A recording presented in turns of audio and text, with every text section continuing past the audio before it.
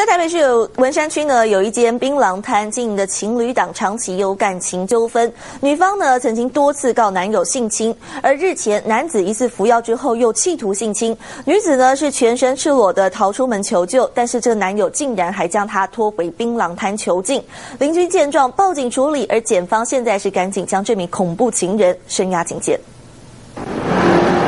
槟榔西施穿着少归少，但完全没穿恐怕是有问题。在台北市文山区的这间槟榔摊，老板女友疑似被老板性侵，出来叫救命。当时被害女子全身赤裸从店里面逃了出来，被陈姓男友发现之后，又被拖回店里面。邻居发现之后，赶紧打电话报警。男孩子要动粗，可能有喝一点酒啊，还吃点美药起来吵架，女孩子吓到跑出来。